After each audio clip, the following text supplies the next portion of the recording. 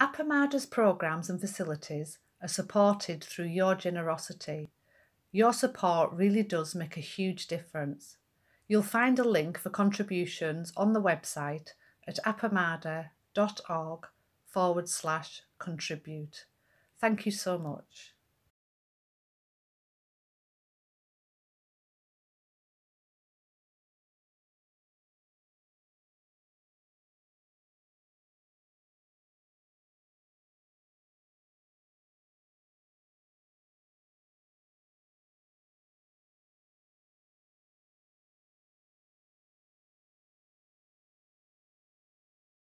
Welcome back.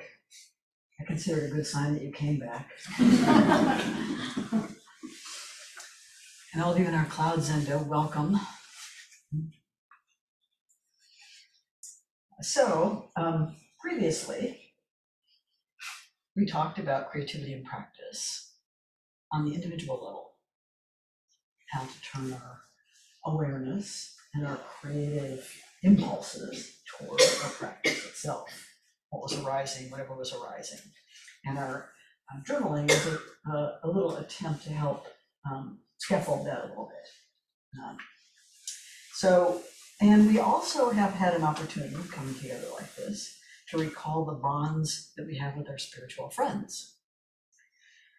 And um, we have some rejoicing about being together and practicing together again in the same space all together.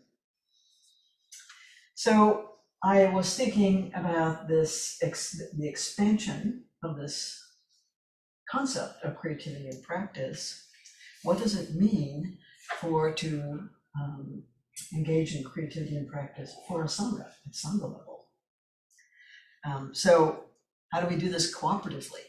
How do we achieve this same quality of mind, of freshness, of openness, of looking at possibility um, so this was my big question when I was thinking about this, talking with you about this. Um, because our practice in, at the individual level, um, we sit zazen and we um, uh, are shaped by the forms and the roles, but we're also householders. So we have work and family and friends and hobbies and civic activities and responsibilities, right? So all of this practice is woven together.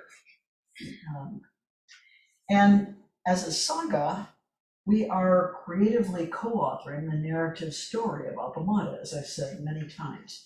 Um, and we are looking at what are the possibilities for this ongoing growth and development of our sangha, which is still grounded in the teachings of the Buddha and our teachers, the precepts, the Brahma Viharas, which you will recall the Brahma Viharas are loving kindness, right? Um, compassion, uh, empathetic joy, and equanimity.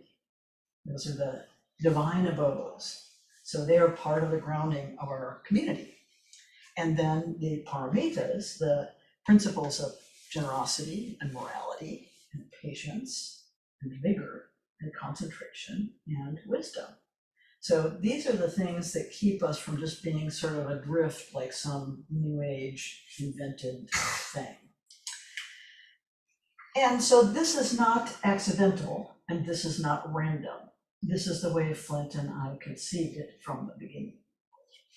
Also, this relational Zen quality of compassion and mutual care, both for each other and for ourselves. So this particular sangha has a certain shape, it has certain contours, it has certain edges, and it has certain fill, right? Um, and the elements that we are incorporating into our creative expression of the Dharma are the teachings, the forms, the practices we engage in together. This is all of the things that we're doing collaboratively the activities, ceremonies, celebrations, fun times, the principles, the underlying Buddhist principles, and the people. So we're weaving this together into a kind of a braid, um, which is a form of a new form of Zen. So this is the form of Zen we have evolved for our time. We created this together. So in our Sangha level practice, just as in our individual level practice, challenges are a form of training. As just exactly as in our we view in our individual practice I talked about yesterday. So they spur connection, they spur debate, they spur creative action and cooperation. So these challenges are part of the growth of our Sangha. And they foster strength and resilience and uh, kind of confidence in our shared participation um, and a kind of openness. We're willing to try new things because the things we've been trying are working, right? Um, so this is uh, um, my sense of how we practice as a sangha, which is qualitatively different from practicing as an individual. So it depends on the creative core of the sangha. Um, and the creative core of the sangha are the people who are experienced in our way of doing things, um, who study, who have relationships and uh, support relationships um, together, and who um, engage in deliberation, which is both creative and pragmatic, right? So we have to solve the everyday issues of how we keep this sangha running, but we're also thinking about, well, how do we do this? You know, how we, how can we have um, an understanding of this entirely new set of challenges? So also there's a fair amount of troubleshooting that happens as a result of this creative core working together. Um, and there's a kind of grounding, as I said, in the teachings, but also in our Appamada way of doing things. This is why bringing in some, some outside uh, leader would be like counter-advised, I would say, because they don't understand our Appamada way. Um, so also this creative is, is learning all the sort of administrative uh, functions that are necessary to run a sangha. This is almost never taught anywhere where there are priests or monks or even Dharma transmitted teachers. It's never taught. But here, our creative core, our councils, our board are gaining that kind of experience. So they also take on these responsibilities for the um, carrying, conveying forward of the teachings and the Dharma in the ways that we do it here at Appamada. So I have this, these questions. How does this. and I think that's uh, the question that a lot of people have in their minds. I'll be talking about this next Sunday. Um, it's because I believe, and I think this is a very egoic way to think, but there you are. I think it's because of the social architecture Flint and I built together and fostered together that we are now inhabiting in our joy together right? So it requires a solid foundation. And it requires building the structure that will scaffold the kinds of activities that you want to have happen. But then it's up to the inhabitants to bring the joy, to live together in harmony, to settle their differences, to solve their problems, to run things, right? So, uh, so I want to remind you, some of you already know this. I'm going to um, read you an excerpt uh, from Christopher Alexander from The Timeless Way of Building very, very famous architect and was the dean of the architecture school at um, UC Berkeley and has written monumental works. But The Timeless Way of Building was one of the first things I read, even when I was writing my dissertation. I went straight into bookshop, went straight over to the architecture department for no good reason, because I wasn't an architect or reading about architecture, and pulled this book off the shelf.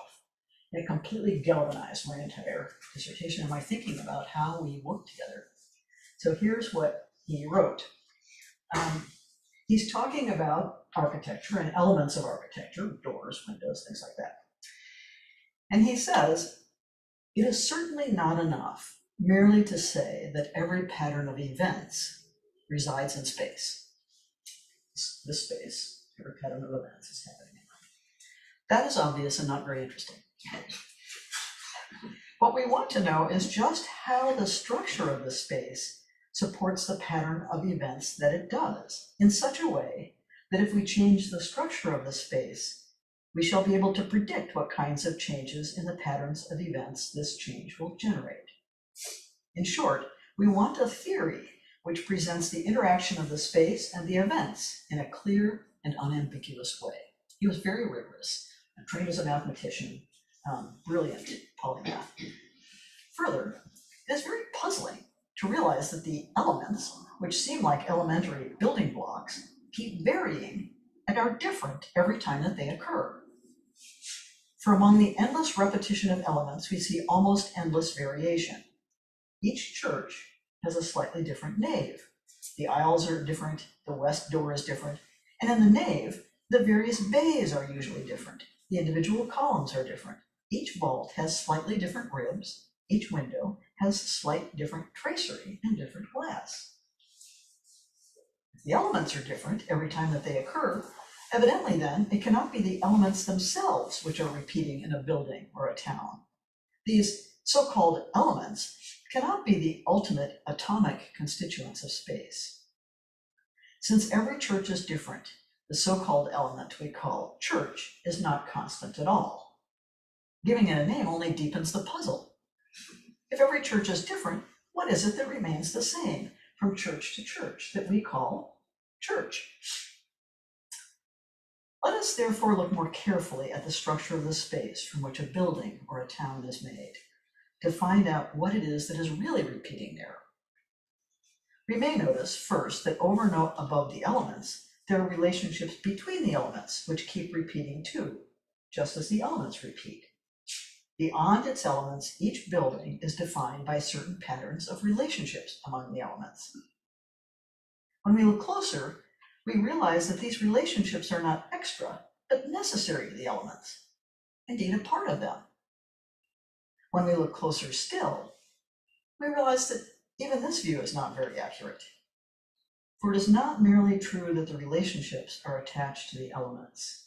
It is not people having relationships with other people. The fact is that the elements themselves are patterns of relationships. For once we recognize that much of what we think of as an element is in, in fact lies in the pattern of relationships between this thing and the things in the world around it, we then come to the second, even greater realization that the so called element is itself nothing but a myth. And that indeed, the element itself is not just embedded in a pattern of relationships, but is itself entirely a pattern of relationships and nothing else. And finally, the things which seem like elements dissolve and leave a fabric of relationships behind, which is the stuff that actually repeats itself and gives the structure to a building or a town. So this is this was our understanding. It's going to be um, a sangha of relationships, not a sangha of things, or even a sangha of people, right? It's a web of relationships between us between ourselves and our space, between ourselves and the world, the pandemic, all the things that are happening that impact what we do, right? So I was really taken with this because I love this idea that all the things that we think of as things actually dissolve and it's just patterns of relationships. When I was teaching um, at UT, I had a class on um, the rhetorical construction of databases. So I wanted to explain to students that even things like databases have a rhetorical foundation. They have a purpose and they have an audience. And they're often misused because they are used for different purposes for different audiences than they were built for. So I had the students create databases and I said, database is, you know, something that has fields, that is categories of things that could repeat from one thing to another. So if you were doing a database of qualities of a person, for example. You might have height, you might have weight as a field, right? Each of those things might be a field, because those are the things which vary from person to person, but which are, you know, for which we can say there's qual- those qualities are, are across all people. So I love this idea of, you know, developing this rhetorical sense of, and the students were very dutiful and they learned how to build databases and they learned how to populate them. And I had to populate them with about uh, 20 people. Had one kid, one kid who in all of the fields entirely in his database were about relationships. And I said to him, well, so what, um, you know, this is supposed to be about your identity. And then finally said, I am my relationships. I'm nothing but my relationships. And he had 200, you know, relationships listed in his database. And it was so it was so startling to me, but I thought it's so poignant because it's true. really. Our sense of ourselves, our own identity comes through our relationships. So, um, so I, I, I was really taken with this kid having this sense, oh, I'm just my relationships. That's what's constituting what I think of as myself. So, in our practice as a Sangha, we want to make sure that we don't miss the care and the connection and the creativity and the joy that are available when we connect in this way.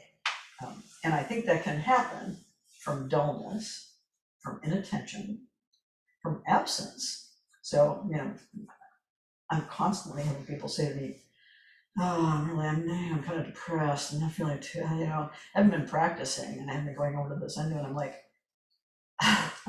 you're saying you're starving and you won't go where there's food, right? Um, so some kind of failure to connect, uh, failure to nourish yourself and each other, that's what could lead to the demise of a community. Right? People get, um, I think, kind of hapless about it and don't understand the ways in which it's mutually nourishing, you know, um, to be connected. So uh, Appamada um, has, of course, its struggles and challenges. Um, it's a bumpy path sometimes, um, but it's uh, it's an independent path, and we're finding our way, of course, um, helping each other. It's got its challenges. Um, but I consider, from my point of view, that Appamada is a blazing triumph. Um, it's actually working. It actually is realizing a vision, um, and not my vision or Flint's vision, but our shared vision um, about relationships, about mutual care, about our learning how to be together in liberation in ways that are not necessarily part of our history, right, or our conditioning. So we have to build this, we have to create it. This is the creative act. And so uh, I, I, I was thinking, we've given you, Flint and I, absolutely our all. We've held nothing back. Um, and we now have this precious treasure of our Sangha. And even though um, people have their differences, there's a space for those differences to be held and appreciated and mobilized as information. So sometimes I was saying, I was thinking to myself, sometimes I think the most um, use, my most useful function is to describe to you what you are already doing. You know, but most of the time I'm just saying, look, here's what you're doing. and I don't know whether that's helpful or not. You know, you have to tell me, yeah, we don't need that. Uh, I already figure out what we're doing. But I think people have a lot of opinions about what we're doing that are sometimes way bleaker than the things that I see when I actually look at what's actually happened. You know, we have a solid uh, financial foundation. People's generosity has helped support us all these years. And we have a fantastic board of people who are devoted and dedicated to the Sangha's well-being. We've got all these councils that have distributed responsibilities for support and care our teachers, our, you know, former head students and Zen mentors, there's so much depth there that isn't there in other places. And I can assure you, because I have been to the other places and I've consulted with the other places. And even though there may be a lot of people, there may, may be a lot of functionaries, there isn't this kind of depth. So, um, so I feel like I have to keep like reminding you of, you know, yeah. Just, uh, I, I wanna add one thing to the, this wonderful list that you are constructing, and that is the incredible energy from the on, from the cloud Absolutely. Zendo. Yeah, and that was, that was one of the fortuitous discoveries of the pandemic. You know, one of the great gifts of the pandemic was to bring us into a larger Zendo, right? Um, that we could share together, so that people could be participating even at a great distance. You know, this has been a blessing for all of us. And um, so, you know, um, I feel like uh, I have to remind myself sometimes what um, what a journey it's been. You know, what a gift it's been to travel this way together and to have this uh, the health and well-being of this sangha when so many communities are torn apart. You know, they're just torn apart. Some of them have completely disappeared, some of the sanghas, because they couldn't get together and they didn't have any technological capacities. Um, some of them are, have really struggled with scandals and with, uh, you know, bad behavior and uh, problematic sangha members and, and we've been really, really fortunate in that regard, really fortunate. So I feel like um, it's such a blessing. I'm so happy to be here with you because, you know, it's an opportunity to share with you my impression of what, you know, as challenging as it's been, as hard as it's been for everybody, all these changes to deal with. We've come through so much together. And I feel really, really positive about this capacity for creative expression of Sangha, you know, which is unlike anything I've seen. And I've, I've said, I've been to a lot of conferences with teachers and, you know, it's, it's not like this. So anyway, that's my, that's my sense of it. And I want to leave time too for talking um, a little bit about your concerns, whatever um, questions and concerns you have. But I, um, I think it's easy to get uh, kind of um, uh, absorbed by your individual practice and forget how much we're doing this together and how much it means to be doing it together, especially when we hit, you know, really rough patches in our own personal lives. And, and when we face challenges as a sangha, that we can, that we can come together and not have it divide us or create uh, fragmentation and, yeah. We've not had factions, we've not, you know, it seems like, it seems like it's working. I mean, We've been doing it since two thousand five, this part of it. Um, 2000 2009 is when we officially changed our name, but before then, two thousand five is when we moved into this space. And it seems like it's working. So that's my sense anyway. Even though for most people, it's a very unfamiliar kind of social organization. It's neither hierarchical, nor is it strictly democratic. So that's unusual for most people. It's not like a school, it's not like an office, it's different from anything most people have experienced, not exactly like a family. Yeah, so anyway, I'm very interested to hear your um, thoughts or reflections about this.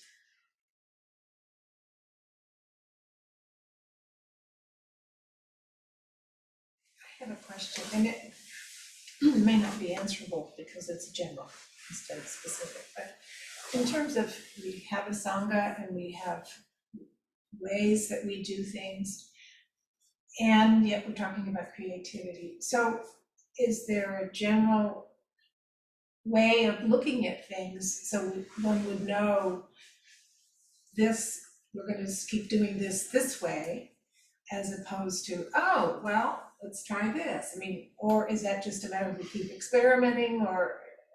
Well, we have resources, right? So we, we obviously want to draw on the wisdom and the compassion that we've developed together, right? So we have each other as resources. Some things are um, more focused and not really the province of the whole Sangha, so not necessary for the whole Sangha to be involved. Um, Some things are things where you want more wider perspectives on it.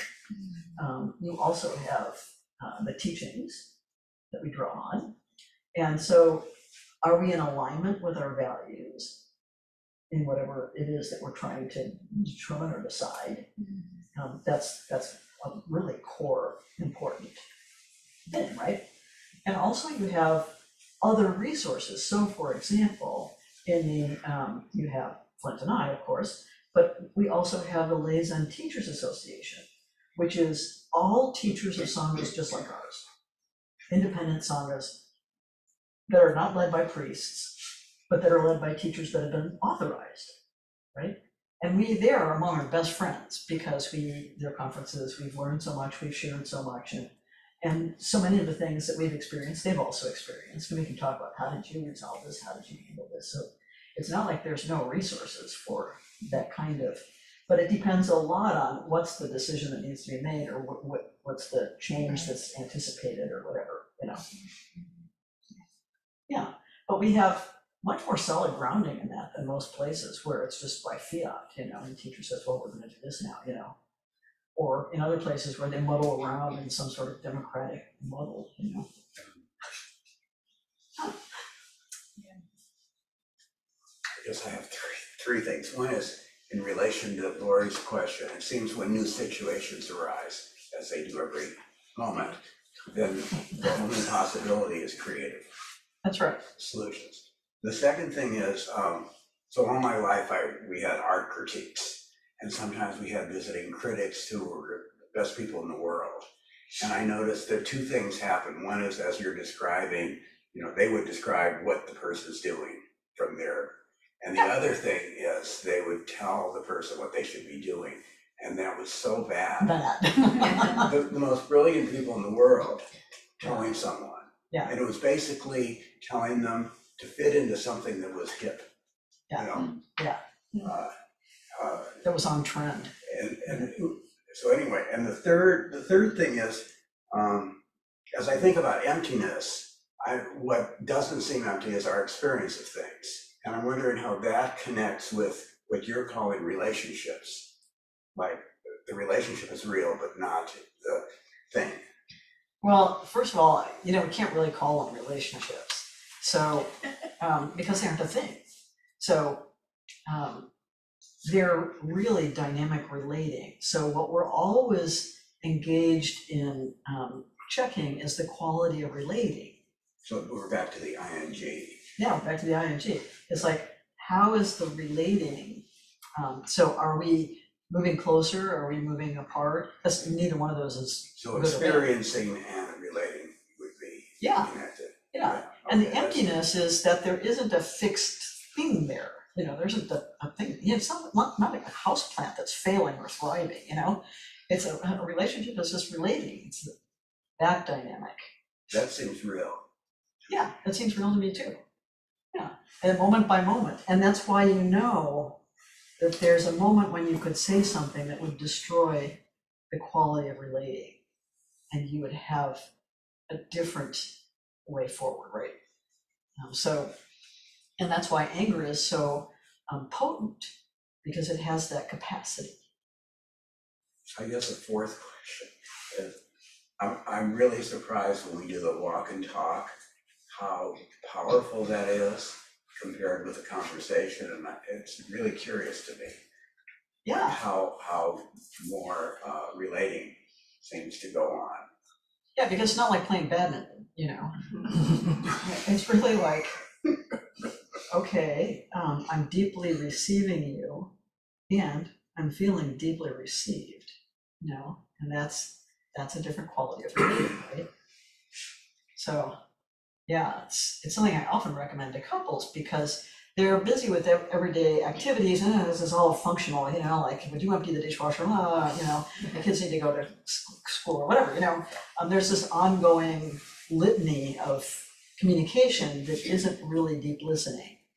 And so to have a timeout, a space where that deep listening and sharing can happen is it's very important, I think. So, um, want to preface this by saying, I feel like I'm playing devil's advocate. Um, and I, I'm really uncomfortable. Um, So the two things I want to say is, um, one, I I listen to NPR a lot, so this is kind of goes along with their, uh, fact checking um, series when they're talking about politics, and that is, I want to be really clear when we talk about when I'm in conversation with other people about our Sangha and other Sanghas, uh, do we know for a fact that other Sanghas like AZC, San Francisco Zen Center, and Paya, are they actually not doing as well as we are? Oh, I wouldn't say that.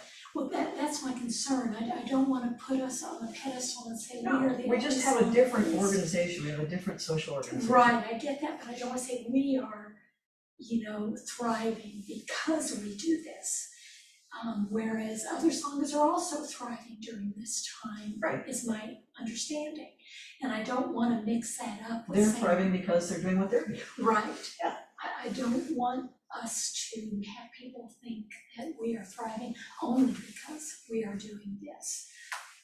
The other thing is, and I, it's no surprise to, um, people, I think that there, there are people who want to have Dharma transmitted teachers come speak, not just Dharma entrusted students speak. Is there a possibility that we would have Dharma transmitted teachers from other um, sanghas come speak occasionally to us, as we have in the past? Um, is that a possibility for our future here? Oh, yeah. Okay. Isn't a possibility for them to lead. No, no, I'm talking But- about but just coming to speakers- speak. Guest speakers are always, you know, that's always, Okay, always a possibility, and we've done that in the past. you know. Right, We right. had I Peter know Hirschhoff come, we've had, you know, Galen? Galen came, Right. yeah, Kosho came, Right, that was a possibility. I just, I was curious Yeah. about. that. Yeah, you p- put in a request. Steve Um, Barstow came and led a workshop. Yeah, yeah, we've, we've done a, quite a number of. Right, resources. right, and I know that, we just, we haven't since the pandemic, Right, so that's, that, that might be something to request. right? Yeah, Yeah. Yeah, and that's, since that's a programmatic request, that would go to the teachers. Yeah, and then they would discuss it with the councils. This is the process, I'm gonna talk about this next Sunday. Jason, You Go ahead. I've got two. Um, I did walk and talk with Kim yesterday, and when I heard Kim speak this morning, I, I heard his voice so much differently. I love Kim. I know him so much better now. It's great. But, but just listening to him this morning after our walk and talk, I, it, it was so powerful. And I, I've experienced that before, great. So here's my question. Would you ever do a walk and talk with somebody, um, maybe, maybe an ex, an ex-partner? Is that, could that be absolutely. dangerous or not? Dangerous, Well, how would it be dangerous? Are they gonna stab you? I mean, if if you're worried about that, I would. No, just like maybe, maybe, maybe somebody, that- maybe, maybe you're on guard because you don't want to be manipulated. Does that make Oh, sense? but it's very hard to manipulate someone in a walk and talk, because they're gonna talk for ten minutes, you're gonna talk for ten minutes. You know, they're gonna say whatever they say. You're gonna hear it, it's coming from them, it's coming out of their conditioning, their background, their experience, you know, you're gonna say what comes out of your conditioning, your background, your experience, you know? Like, I think, um, I think in some ways it's valuable because it's very hard to listen to people you're in some sort of troubled relationship with. And so from that standpoint, it's actually beneficial Oh, yeah, yeah. Okay, thank you. right? It's a kind of forced listening without you mobilizing your defenses, right? And thinking about how you're gonna get your points in. No, like, that's, that's not what's gonna happen. One more question, and I'll try and make this brief. My daughter's nine. I adore her. She's wonderful. And m- how I grew up, I talk to everyone. I don't care what your point of view is, your political opinion, your background, your race, your religion. That's how I've lived my life. Mhm. And um, and, and I'll always be like that it, this kind of gets to mind states over the pandemic. I almost went on a ski trip overseas when COVID started, and I canceled. But I had a Twitter addiction, or I developed a Twitter addiction watching COVID. Yeah, of course, because the news was changing every second. And I don't post anything, I just read. And it, the, the, it was so powerful. Um, and I, COVID was so isolating that, um, I, I, I guess I don't have to state the obvious, like it, just the polarization or tribalism. it- I still feel the same way. I'd love it if this was, if I, I would sit in a room full of people with, with anyone.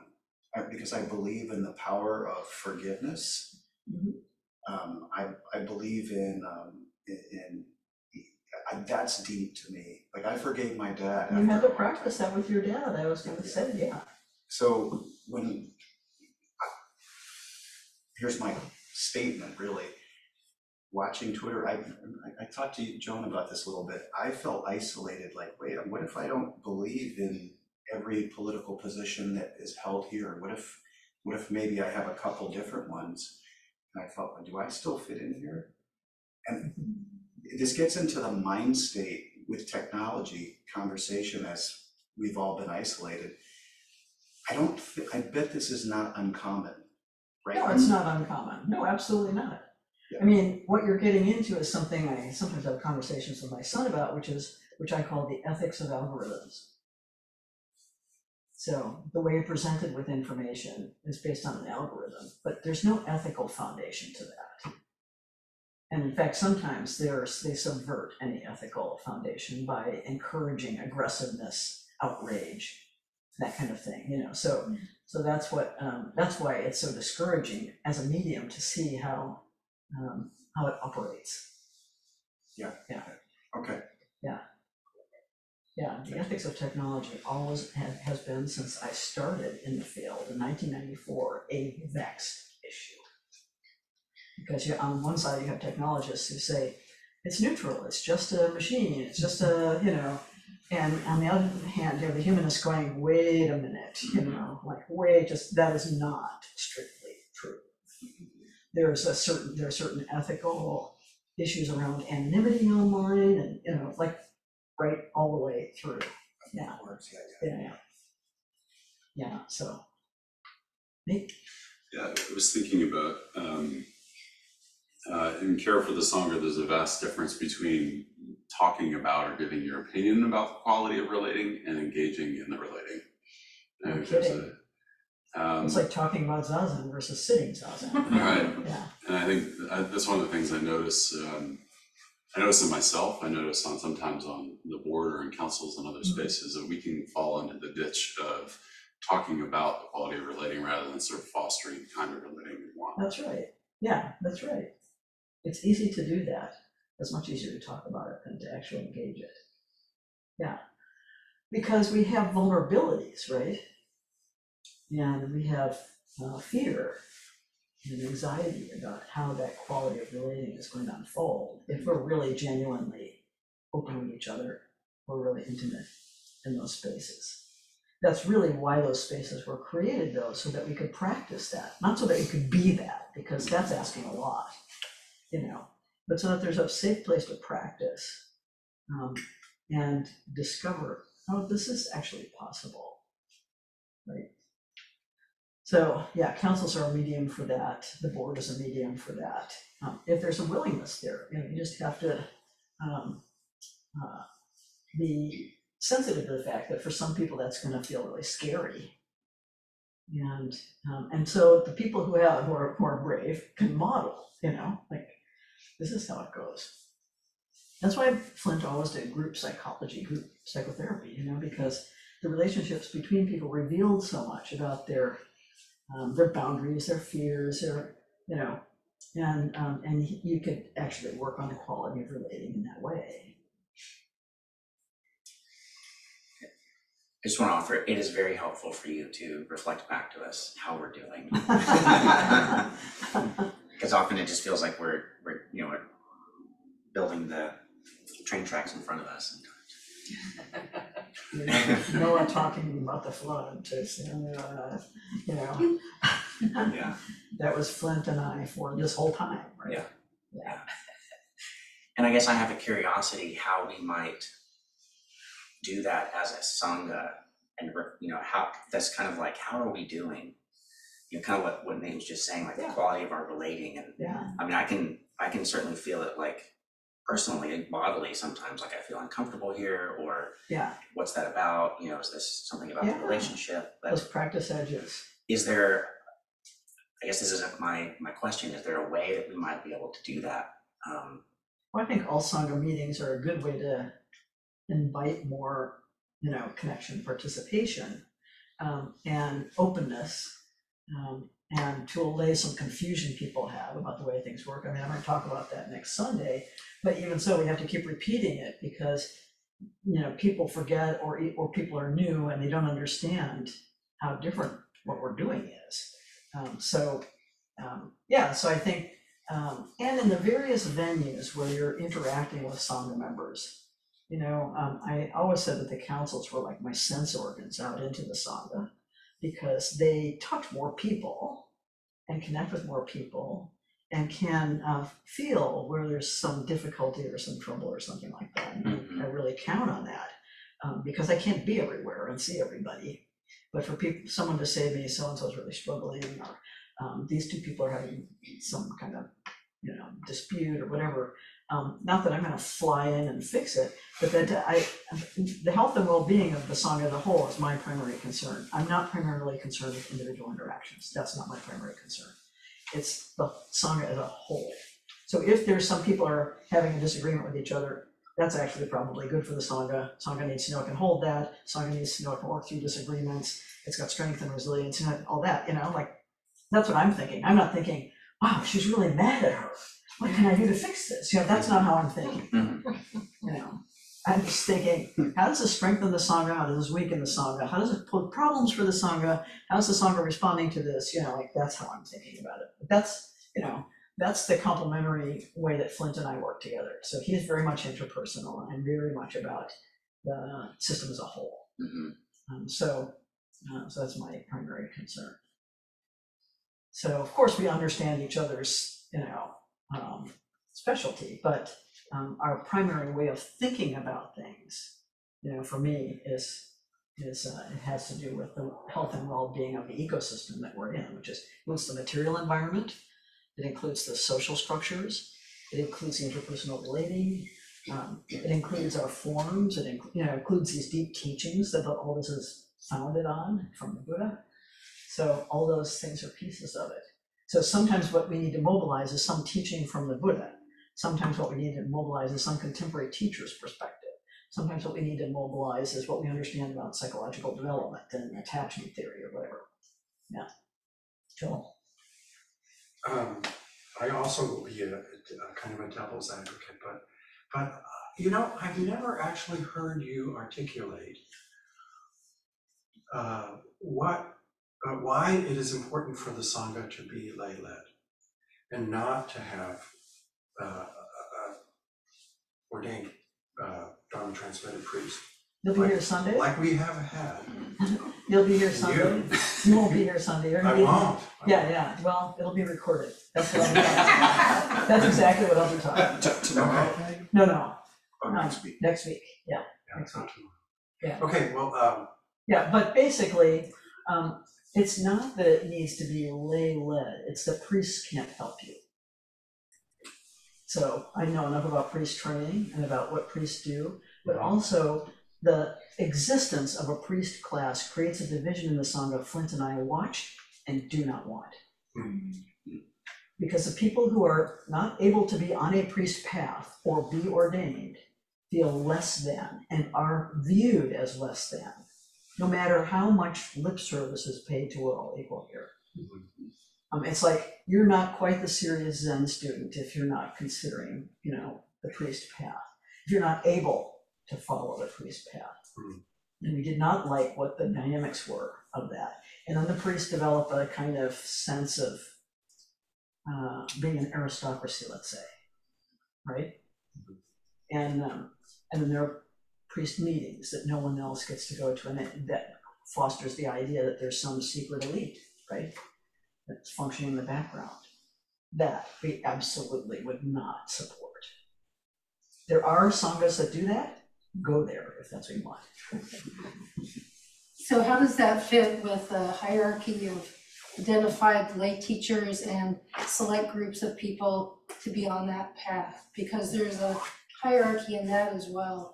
And Well, so I'm just curious how you, do you, do you perceive that there's a difference in, um, No, but we have people who have worked with us for a very, very long time who have devoted themselves to the Sangha. That's my number one criteria, right? They've devoted themselves to the Sangha. They've learned all the roles, they've learned all the administrative functions. Um, so it's a little bit different in the sense that it's not just a, an anointment. It's like an evolution. So my understanding is that the Sangha also supports this development of teachers internally, right? Um, the people who are, have that level of commitment, and it's huge. I mean, just ask these poor burned out people, three of whom replaced only two of us, but, um, but also we're not dead. So we still stand in as advisors and backups and uh, for those kinds of really thorny issues where some consultation is needed. So I just want to make sure I'm hearing you correctly, because I really appreciate Anne's question, because I think it does go to what the issue I've been struggling with from people that I hear, not me. Yeah. I'm not struggling with this one, I'm sure everybody's clear about that. And that is, it sounds like what you're talking about, that we are encouraging people who are seeking to know more and learn more and take on more responsibility in an organic way within the Sangha, not from without the Yes. Sangha. Okay, that, that to me, that is a huge um, difference, and I really appreciate That's hearing that because it goes to what you said, this idea of bringing someone outside who does not know and has not been here from the beginning. I just, it just brings me to tears hearing you talk about it like that because that makes me realize that is why I practice here. Yeah. Because it is, it is a home. It is not just a Zen center. Right, It is a home for my practice. right. And when we, Thank you. when we thought about this, we, we think organically. So for me, it's like tending a garden, you know? And you see, oh, these sunflowers need more water, or whatever, you know, like you're just like, you're tending this garden and organically you see, oh, these are gonna be tomatoes, you know? Like, there are people who you see clearly evolving this deeper, deeper, deeper commitment to what we're about here and to conveying that, right? And what we're doing is watering those sprouts, you know, like, is saying, okay, you know, this is your commitment, and we want to make sure that we provide an opportunity for growth for everybody, right?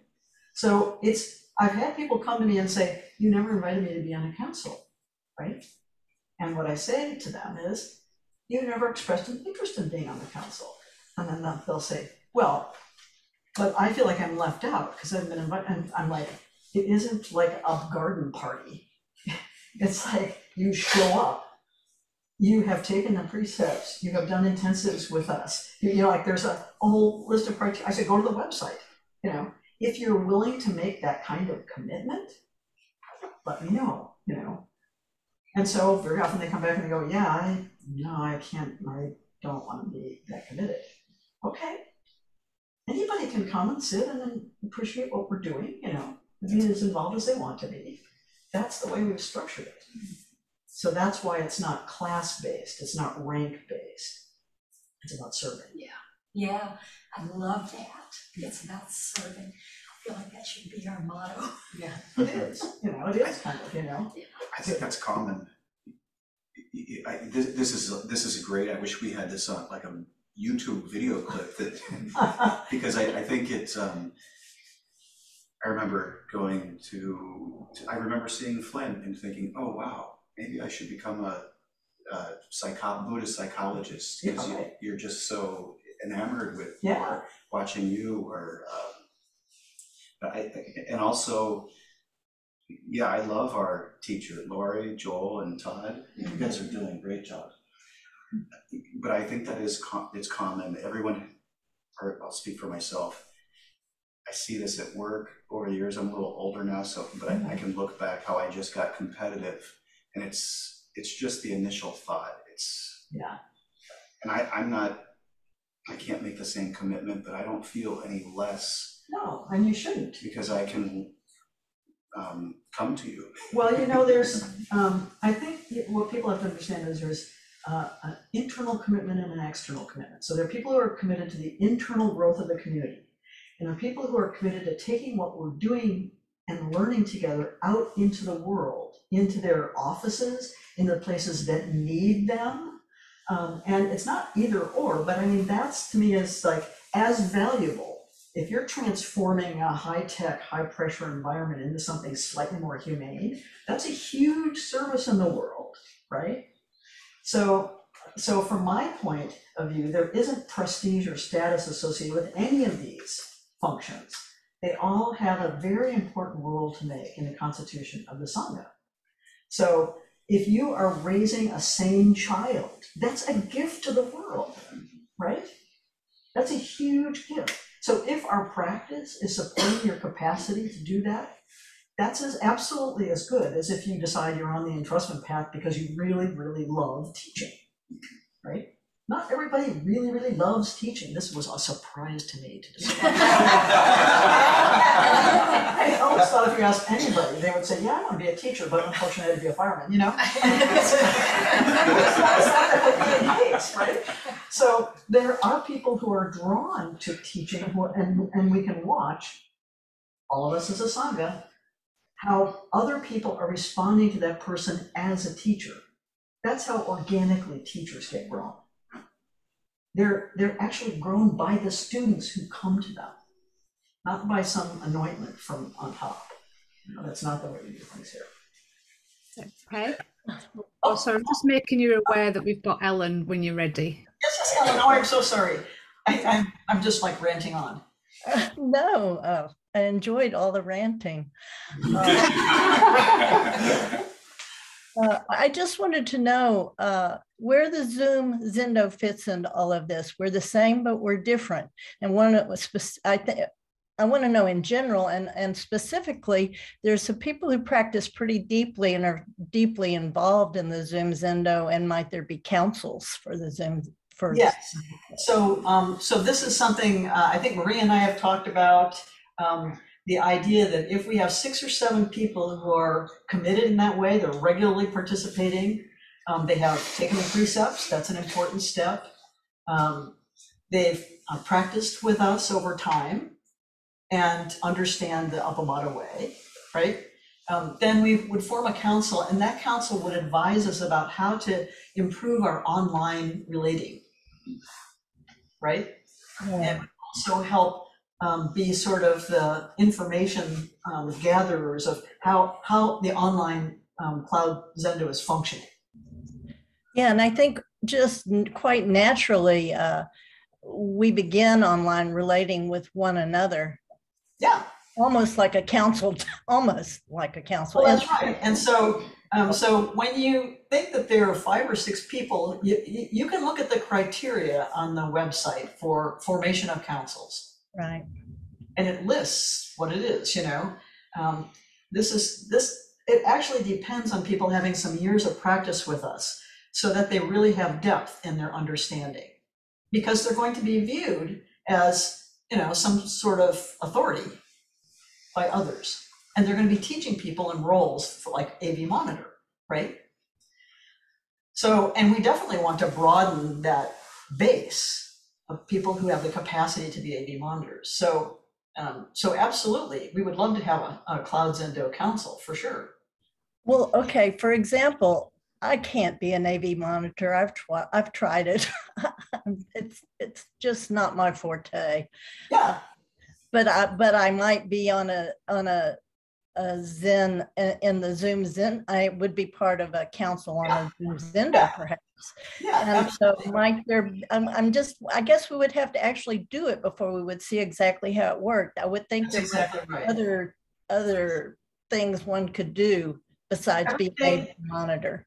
Everything we've done has been emergent from how students are advancing and, and faring, right? Right. So we, first we had one council. We didn't want that to seem like the teacher's pets, you know? So we immediately recognized we would create a council whenever we had six or seven people who meet, meet those criteria, right? And who care about supporting the Sangha. So, so then we began to see, oh, this is how this network gets established of people caring for the Sangha and caring for each other and also deepening in their practice together with spiritual friends. So that was emergent. And whatever we do, you know, with the cloud Zendo will be emergent based on the needs of the people who are participating and what makes sense, right? Yeah. So we would have to see how would that council function, and then they would make requests. They would say, we would like to learn roles, or we would like to study a book together, or we would, you know, like the councils determine where they want to spend their energy and time together. It's really peers. Hmm. Yeah. Does Thank that you. make sense? Yes, thank you. Yeah. Yeah, because I kind of see the the Cloud Zendo and the Appamada Austin Zendo. I think it's merged together and it's also separate. you know, it's it's merged together. Oh, I've got something in my throat. it's merged together in the sense that all the people that um, spend time online from from the Austin Zendo are very bonded with the Yes. people Yeah, online and then you also have people that don't um, appear online. So for me it's like i feel very bonded to so many of the people at Appamada you know i mean joel and laurie and there's so many people that um kim and joan and you know that, that appear regularly online. And and i think for me over these last couple of years i mean i'm already part of the justice sangha which is a branch of the Appamada. So i've experienced the on-site in-person connectivity as well but the connectivity i've experienced online has been incredible. You know the intensity of that of that connection and how um it's really surprised me how how connected i feel to Appamada yeah, how how you are all a fabric of me and i feel a part of the fabric of of Appamada and and i would not have envisaged that before the pandemic that all being online yeah. only online in the presence of a sangha. How could i possibly feel like this? And but the experience of it is as you know i come on every day Yeah, um become very very connected and feel very much uh, almost like you know i can imagine myself sat with you all next to you all. I feel the essence and presence of like i know how joel, fe- joel feels. You know i know his essence his physical presence you know and laurie and you know you literally feel their their presence because they're so they're so present so i think a lot of it to do with Appamada online and on site is how much each person from each side partakes isn't it in Yes, yes, in- absolutely. I mean, it's, it's, this is what's available, and it's interesting to me because before the pandemic, this kind of thing was relatively rare. Um, Businesses were doing it, but ordinary people, you know, no. Um, So the pandemic slammed us into this environment, which was disorienting and at first off-putting in a way, you know, like you just felt like, oh, this is so alien, seeing the faces on the screen, you know. But then we all became quite familiar and at home in this environment. And now I think it's pretty much mundane, you know, people just take it for granted. And I'm, I think that's one of the great gifts the pandemic in connecting us and allowing us to be connected over a distance in this way. Even people who live in Austin, just the traffic is bad, you know, can, can jump on Zoom and be connected. Yeah, yeah. And we value your participation and we value your input and don't uh, hesitate to tell us, if, you know, when we forget. Uh, you know, I, it was funny when Nancy said yesterday, "What about us?" Yeah, that was wonderful. It just reminded me, oh, yes, yes, we have to, we have to, you know, I, I had it in mind, I just had forgotten. So, I- I'm sorry to, to butt in, but I, I, can I add something here that you, you were just saying, you know, like Yeah. businesses used to have Zoom Yeah, yeah. meetings or, or other teleconferencing. teleconferencing. And, that- and my experience with those was, those are things I had to show up for, and it was such a pain, and it was a waste of time, and I, you know, that I, I You was, hated I it, was completely withdrawn into my own yeah, desires around that. yeah, And the difference here, uh, and, and, and I think for a lot of sanghas online with the pandemic, is that people show up so that they can support each other. yes, That's, that's. That's right. that's right. And, and Flint really, you know, he gave a talk several weeks ago, uh, offering the same sort of encouragement and the same sort of overview that you're, you're giving. And that, to me, that was the central point that he, that he made. Yeah. What can you do for the Sangha? Show up Show up, with the idea of supporting each other. Yeah. That's the primary thing you can do, when people ask, what can we do, that's the first thing. If you're doing that, that's huge. And you know that if you sit in the Zendo or if you're online and a person is there who's not normally there, you feel that presence. If a person is absent who's normally there, you feel that absence, you know? Um, and it's very interesting to me how energetic it is. And I'm sure feels the same way for folks online. You see, oh, Lori's here, you know? Oh, great, Lori's here. You know, it's just like this sense of buoyancy that comes from seeing the people coming, you know, just just coming. So that's the primary thing, yeah. I want to take advantage of this time to ask about questions I've had. Uh, and I'm looking at when I'm gone and when you're gone. And as I understand it, uh, is not Soto Zen, it is a branch off Soto Zen. And it is unique. And so, um, and this is probably what's happening right now with the, and I forget what they're called, the, the group of, that's doing the teacher, what do you call it? Entrustment training, the entrustment training, that there is a way that new teachers will come about. You know, in Soto Zen, it's all lined out. yeah. And this needs to be created and established. And then a concern I have is that there we are, this branch off from the teachings. And so, We're not How- branched off from the teachings, we're branched off from the uh, institution. yes, and how do we get the teachings? Do we get them by reading books? Or maybe bringing in teachers, as we talked about from Soto There's Zen? a variety of ways, yeah. And, and I think it's important that we've always gotten the teachings from you and Flint. And you and Flint someday will be gone, And Lori and Joel and Todd. but you and Flint's uh, foundation is very deep, We've been studying a long time. yes. And, We're read. and Lori, Lori and Joe are incredible, but there are people that have, that, that is their life, and that's the Soto Zen. Uh, Maybe, yeah, and it's not that we need that person forever, but that, that we would need that plugging in. no, Well, we just talked about it, about having people occasionally, yeah, having occasional guest speakers is fine. Yeah, or teachers to come to teach a class or something.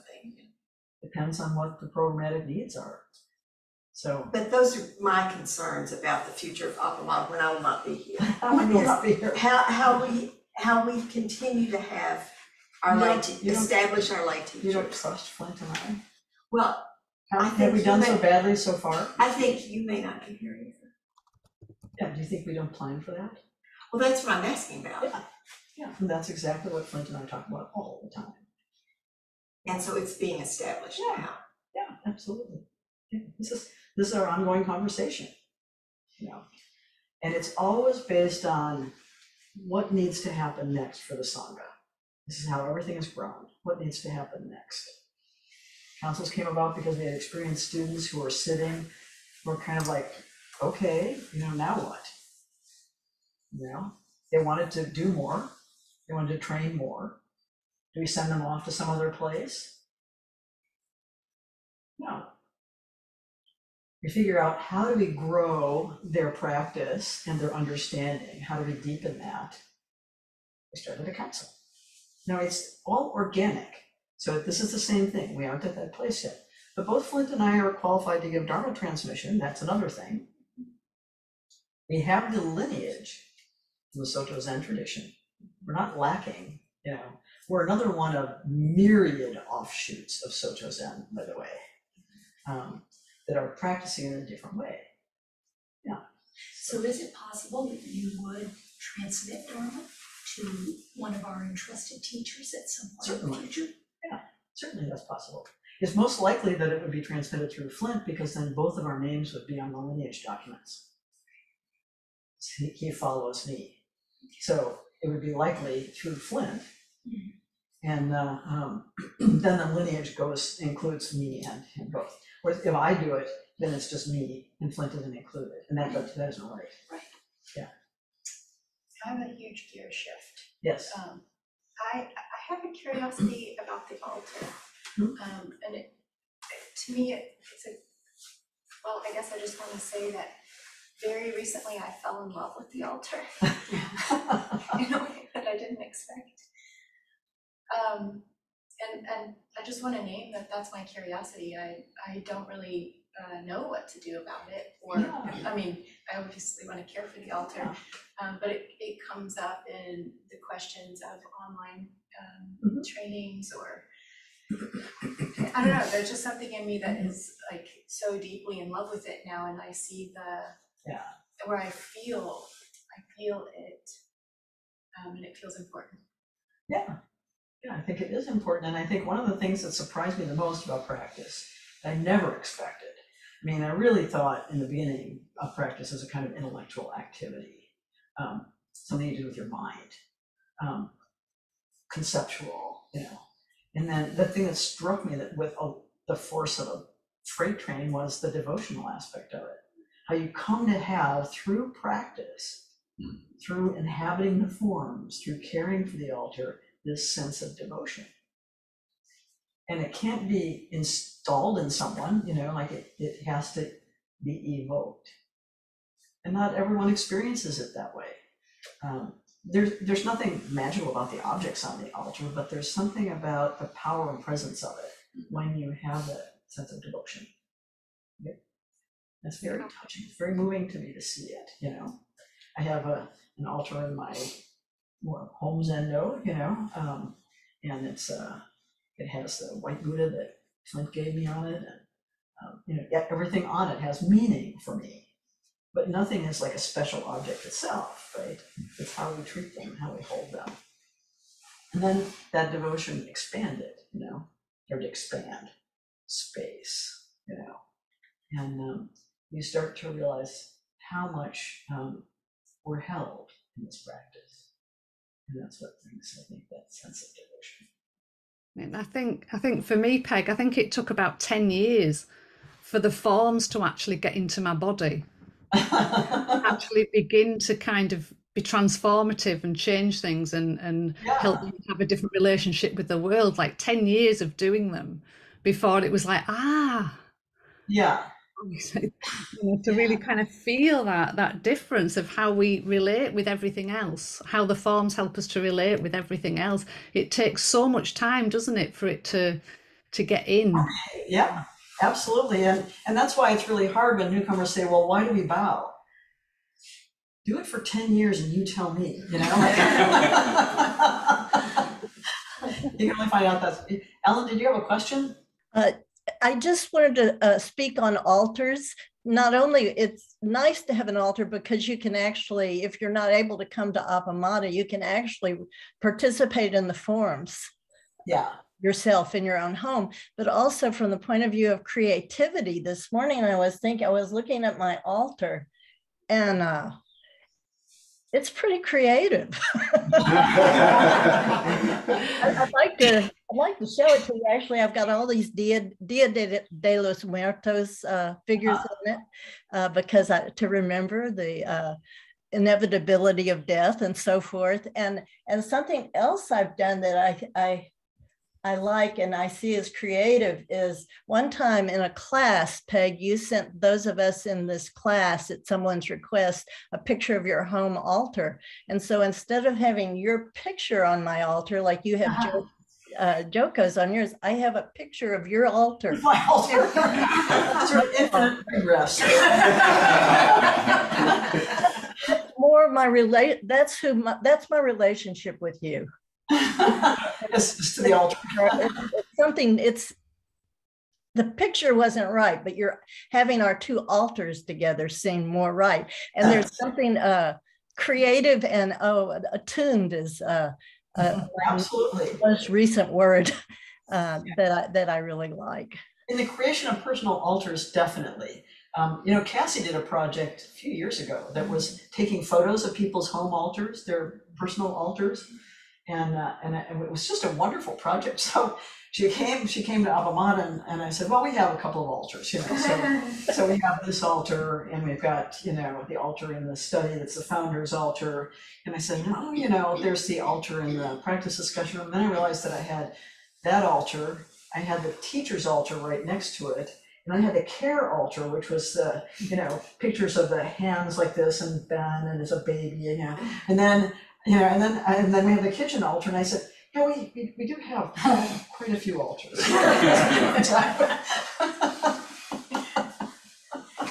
And then, of course, we've got the Buddha outside, you know, that's another altar. So, yeah, yeah. It's, but it is a, um, a wonderful opportunity to be creative and to think about what you honor, what you cherish, and what you want reflected. Um, that, um, that every day you'll be, you know, pouring this devotion. For me, this one is different in my heart than my own person. I mean, John Eric and I have so many altars. We have travel altars. We set up altars everywhere we go. But this one it represents the Sangha somehow in my heart. It's the heart of the Sangha, yeah. It's the heart of the Sangha for sure.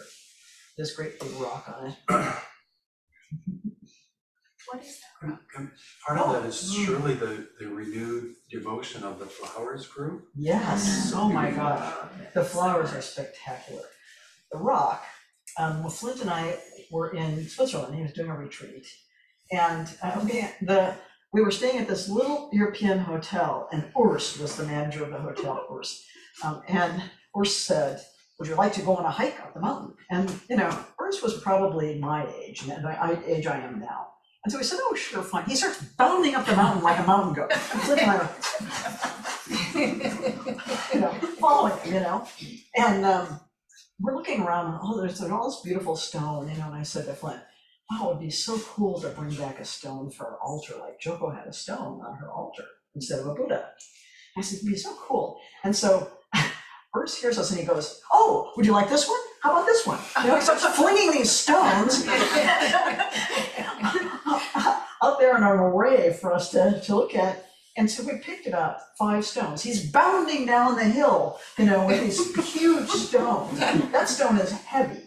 And it took a year for them to ship it to us because it came by boat.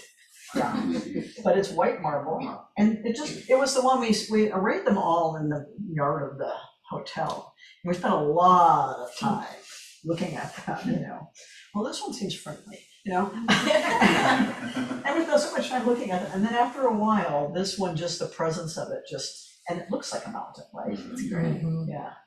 It's just, I think for Joko, it just represented life as it is, you know, like there's just no quarrel with it. It's just life as it is. And it's not, for her, it was very important not uh, to have a Buddha, uh, because that uh, always gave people the impression that we worship Buddha, you know, instead of Buddha being a teacher. And also that came hundreds of years later from Buddha, the idea of a Buddha statue. Yes, the idea of a statue, it was always, there was always an absence. Um, that Well, was- didn't we have a stone before this? It was just small. We had a small stone, Yeah. yeah, a really small stone. Yeah, for a long time. Um, which was another adventure of me in the stone yard. And, um, and it's, you know, custom stone or whatever, it's like vast, vast stone, flagstone, gravel, you know. And I'm wandering around in this yard for at least three and a half hours. Oh, and finally I found this beautiful river stone that could be on the altar. So I went into the office with it, the little trailer office there, and I said, so how much is this stone? And they looked at each other and they said, well, ma'am, usually we weigh the truck first. I said, oh, oh, do you want me to bring, drive over the? And they said, no, no. And I said, well, you know, can I buy it? And they said, sure. And I said, well, how much is it? And they said, eighty-nine cents.